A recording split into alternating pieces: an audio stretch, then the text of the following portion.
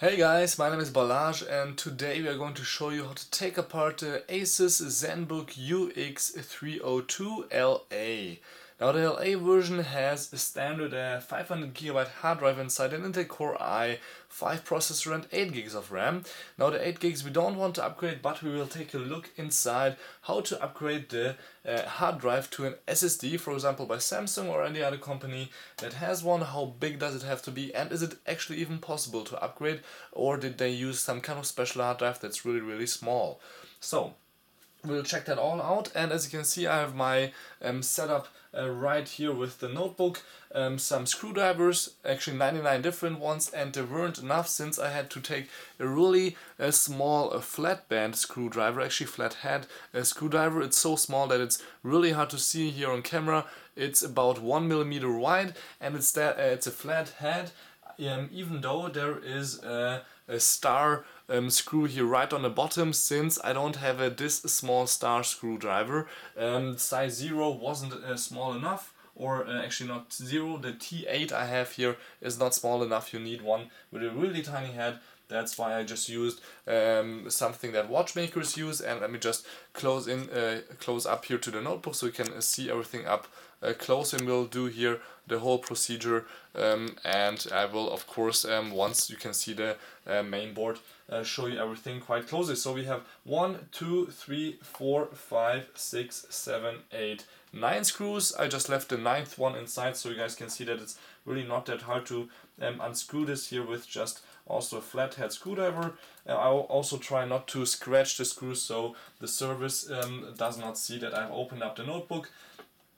So once I have done that, it should be quite easy to take off the bottom.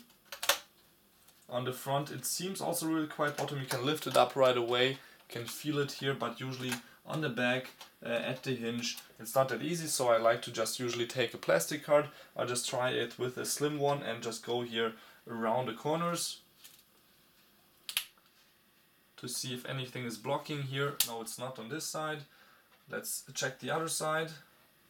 I have no clue how long this will take. I've seen the UX32VD and I've not done it myself but I had help um, really um, upgraded and it's really not that wasn't that easy because there was so many screws but I got a lot of use for it so I guess a lot of people will want to do this I think for this one also.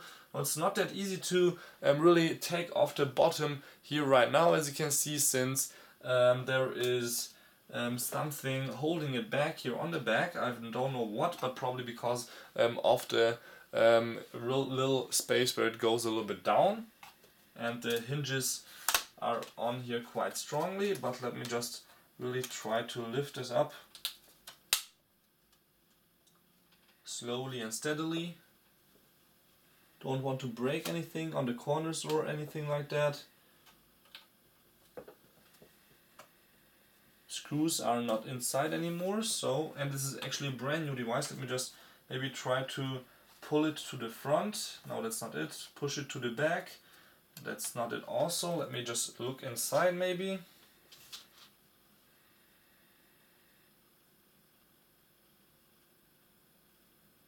There doesn't seem to be glue or anything like that, or at least not that much. Me look like this.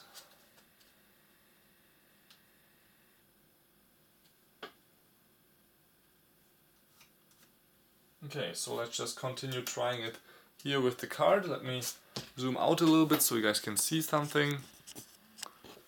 So what I'm trying to do now is really take a little bit thicker plastic card and just go here all the way back and try to lift this up.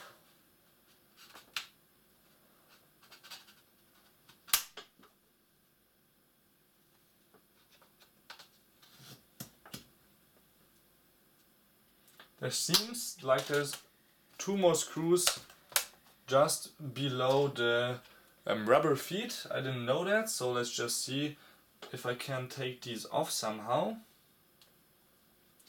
My fingers not right now, let me just try it here with a little pin set. Going under the rubber on the back, trying to lift it up. Exactly, one Phillips screw here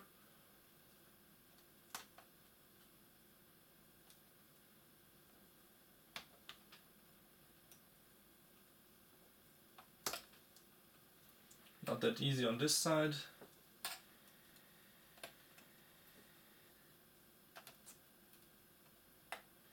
I'm not a professional as you can see. Try my best though.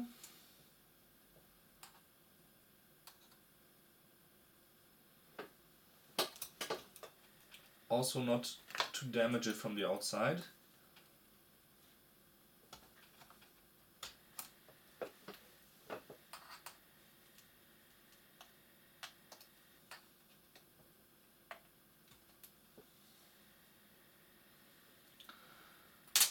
Try something different.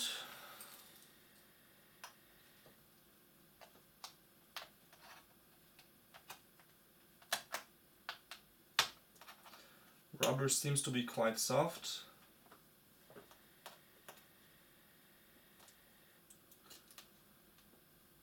To be exact, it's too soft to lift up. Kind of strange, because on the other side it was really not that hard. Here we go. Okay. So we just need a Phillips screwdriver like this one. And we can continue. Zoom in again.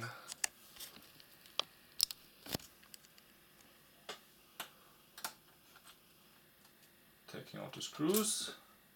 Quite a long screw also. Other one also right here. Let's put these rubber feet also to the side. And now it should be really quite easy to lift up here the back.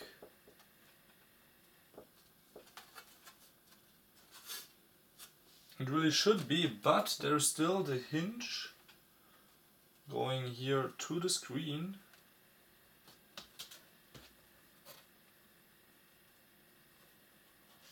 Which is not good.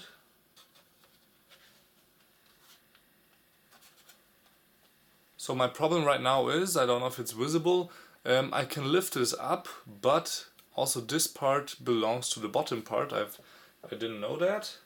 So let's see if something back there is still holding it back. No, I just have to really smartly somehow lift it out there.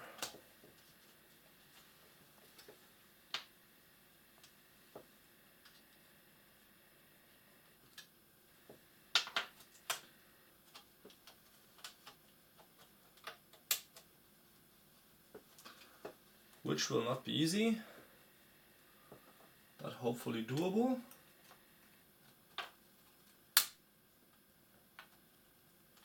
If doable, somehow have to put it also back.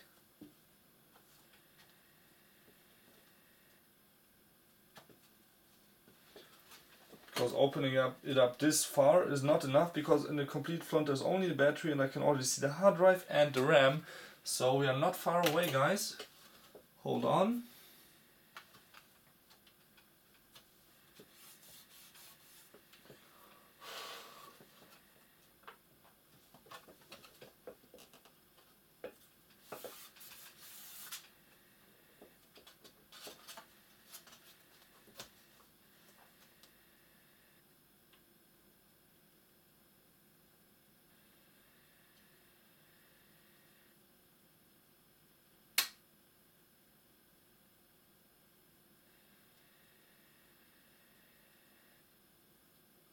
Don't worry me being so quiet, I'm just looking at the back panel how I can take it off or anything like that, but it's really not that easy. Warranty void if seal is broken or removed. So there's inside there's some um, stickers that are telling me that it's void, but I'm opening that up. But this till now is completely legal. At least I think in most countries there's countries where you can't even go this far, uh, but usually you are allowed to uh, um, upgrade your hard drive or anything like that so that shouldn't be a problem.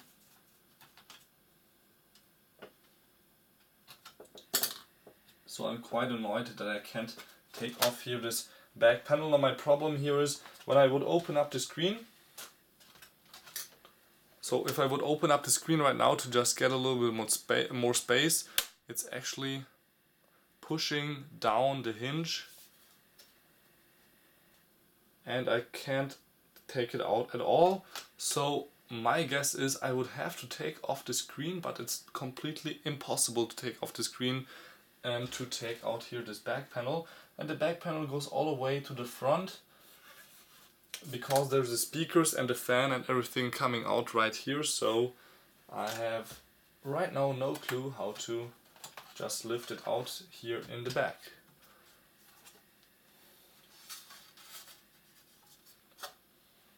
But I can give you right now a little glimpse inside. Don't know how much is visible, but you can see here the hard drive, in the middle the RAM. There is an SSD by SanDisk right here for the 16 gigs um, of fast um, boot memory and also a huge battery here which we could also upgrade. Um, and I think I will do just a part 2 where I try a little bit more to take this off and then you can tune in there also to see how to um, do the SSD upgrade if I take off the cover and I will tell you guys how I did it because right now I have really absolutely no clue how to do it. This seems really hard and yeah. So see you guys later. I hope I will be able to take off this cover um, and see you guys in part 2.